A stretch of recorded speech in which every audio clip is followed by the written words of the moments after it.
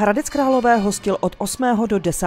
dubna volejbalový kvalifikační turnaj na Evropský šampionát mistrovství Evropy U19 2022. Tak my tady tento víkend pořádáme kvalifikaci na mistrovství U19 žen, kde se sejdou čtyři manšafty, jsou to domácí Češky, Belgie, Španělsko a Srbsko a vlastně je to historicky první akce v Hradci Králové a na Slávi taková, do té doby se tady zatím pořádali jenom reprezentační soustředění mužů nebo žen nebo mládeže ve volejbale. Pro uspořádání tak významné volejbalové záležitosti byla plusovým bodem mimo jiné velikost haly TJ Slávia.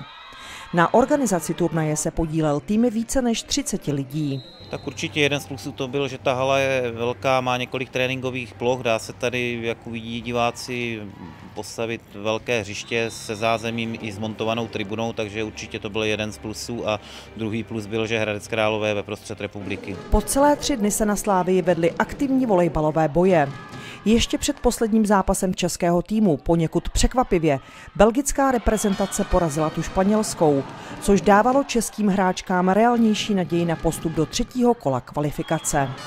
K tomu bylo ale zapotřebí vyhrát proti favorizovanému Srbsku alespoň set a v těch ostatních se dostat do koncovek.